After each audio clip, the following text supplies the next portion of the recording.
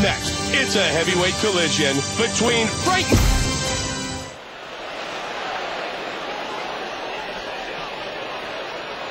Our tale of the tape for this heavyweight fight.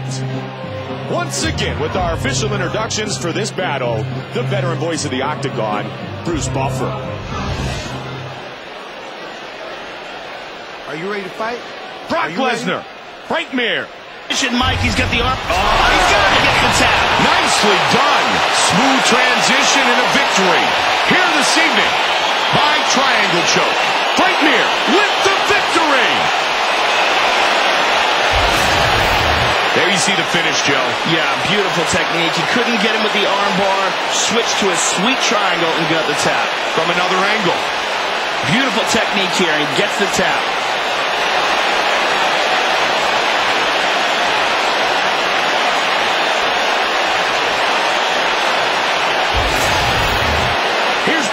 Bruce Buffer with the official decision.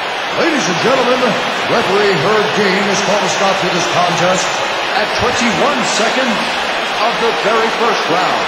Declaring the winner by tap out due to a triangle choke. Frank Mir! Frank Mir wins inside the octagon.